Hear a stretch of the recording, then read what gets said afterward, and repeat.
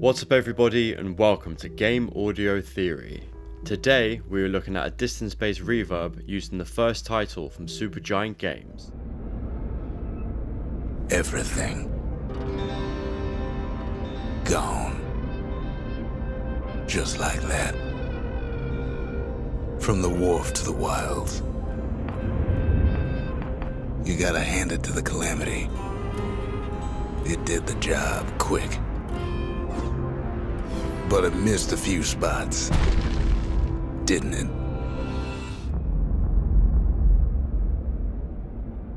Here on Game Audio Theory, we look at game audio mechanics, theorize on where they could be put together, and then try and replicate them using Unreal Engine 4 and Wwise. Bastion from Supergiant Games is an action RPG with a really unique narration mechanic. It's not just a case of when you get to certain cutscenes that some narration takes place, it's always happening, it's always with you, and it reacts to your actions as the player during gameplay, and this is what makes the game really stand out. For this episode, however, I want to look at a game audio mechanic that really stood out to me the first time I played this game, and that was the use of distance based reverb. In a talk at GDC, Supergiant's audio director Darren Korb discussed the process of designing a whole level around a piece of music. This level is all about finding a character called Zia who is heard singing throughout the level, and they wanted to place a song within the world, so to do this, they applied reverb, panning, and attenuation to the music. Darren describes the level as being set up like a spiral with Zia in the middle, so this causes the song to move around the player as you progress. As an added effect, they set up a mechanic where the further away you are from the source of the song, the more reverberated and quiet the song is. then as you move closer to the source of the song and Zia, it becomes louder and less reverb is applied. Let's just quickly check this out working in the game.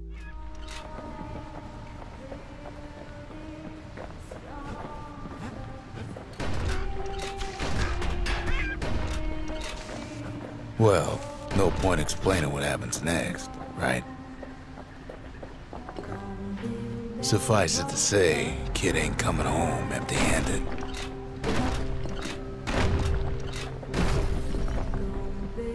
And besides, it's like the song goes. Someday your bird is gonna fly. Gonna build that wall until it's done. Gonna build that wall until it's done. They'll be here before too long. To achieve this kind of effect, I would use something called an RTPC in Wwise combined with a blueprint in Unreal Engine 4. An RTPC, which stands for Real Time Parameter Control, allows you to manipulate audio in various different ways in real time, essentially based on a numeric figure that's linked to gameplay actions. The RTPC for this audio mechanic to work would be placed on the wet level of the reverb, and this would be driven by a blueprint calculating the distance between the player character and the music source. To calculate this distance between the player and the music, we could use something called a line trace. A line trace, which is sometimes also known as a raycast, shoots out an invisible line from a game object, and if geometry is hit, you have a number of things that you can then do with that information. So in this case, we want to send a line trace from the player character to the music object and calculate the distance between the two points, and then feed whatever that number is into Wwise and control the RTPC with that number. So let's put this together. The first thing we want to do is place the music into the Unreal Engine 4 level. I've created an event in Wwise that contains the music track and then set up a volume attenuation so that the track can be heard as soon as the player is in the right location and then it gradually gets louder as the player approaches the source of the music.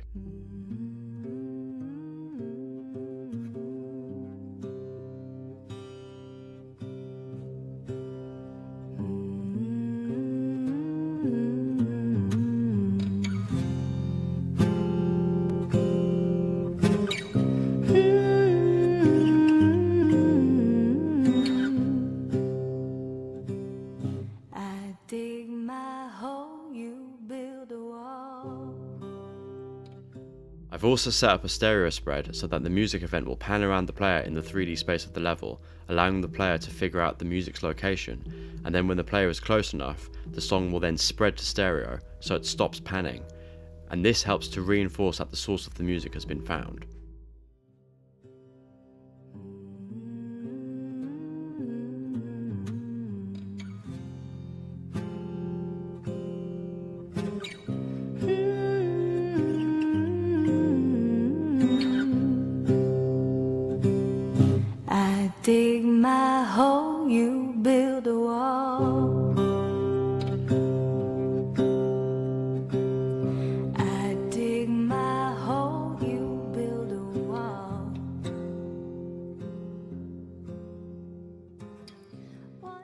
The next thing we want to do is make our line trace blueprint to drive the reverb RTPC.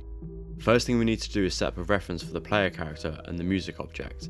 We then need to plug that into a get actor location node and connect this to a line trace node. So the player character will go into the start and the music will go into the end of the line trace. This is basically asking the blueprint to tell us where in the level the two objects are.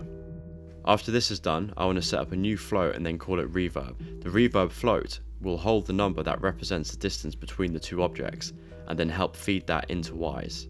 First though, I'm going to ask this blueprint to print the string of information that it's generating in order to check that it's actually working properly.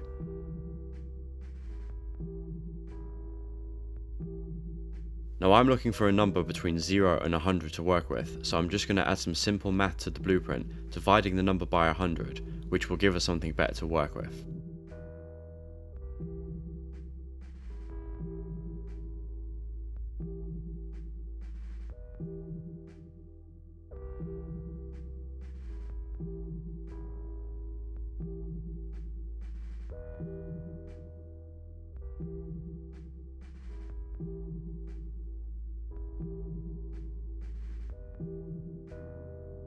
Now I'm going to add an RTPC node in order to feed this information into Wwise, and this will allow the blueprint to drive the reverb level. I've named the RTPC in Wwise reverb level, so I'm going to add this name to the RTPC node in the blueprint. This is so Unreal Engine 4 and Wwise know which RTPC we want to talk to and control. So I've set up an RTPC and added this to the reverb effect that I've applied onto the song. So if we go to the effects tab, then click edit, we can control various parameters of the reverb. As you can see, I've set up automation for the wet and dry signal. So when the RTPC is at 100, the reverb is dominant, and as the number gets closer to zero, the reverb signal gets weaker, leaving only the dry signal behind. So let's just take a listen to that working.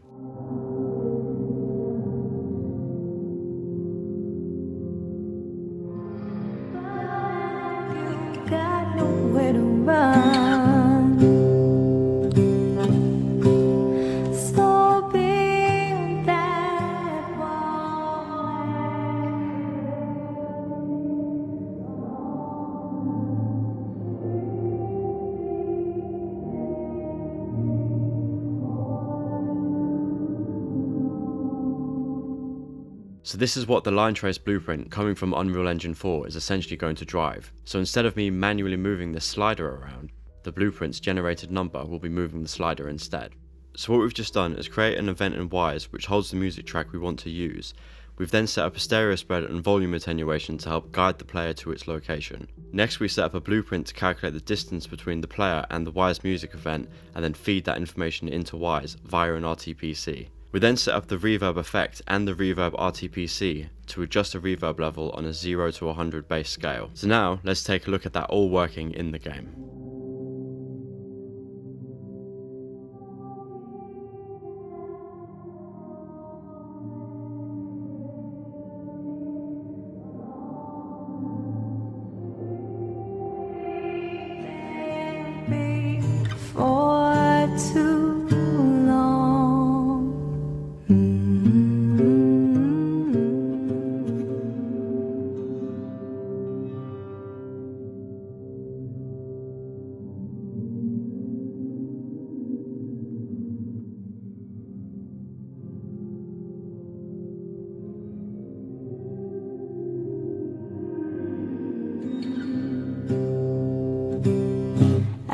dig my hole, you build a wall.